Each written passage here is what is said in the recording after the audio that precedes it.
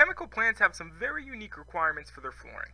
Beyond the ordinary requirements of workplace safety and floor longevity, one must consider chemical resistance, ease of cleaning and sanitation, avoidance of substrate contamination, and the individual needs of specialized areas such as production lines, development labs, and secondary containment systems. Our flooring systems are specifically engineered for chemical industries. According to the typical chemical products used in the facility, we often specify custom polymers that meet or exceed the needs of your particular niche.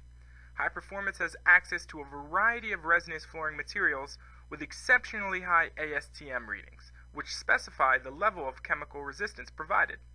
Our access to these highly chemically resistant resins, along with our engineering team's experience in chemical facility design, makes it simple to design and build a robust and long-lasting chemical plant flooring system. To learn more, give us a call at 800 928 7220 or visit us at www.highperformancesystems.com.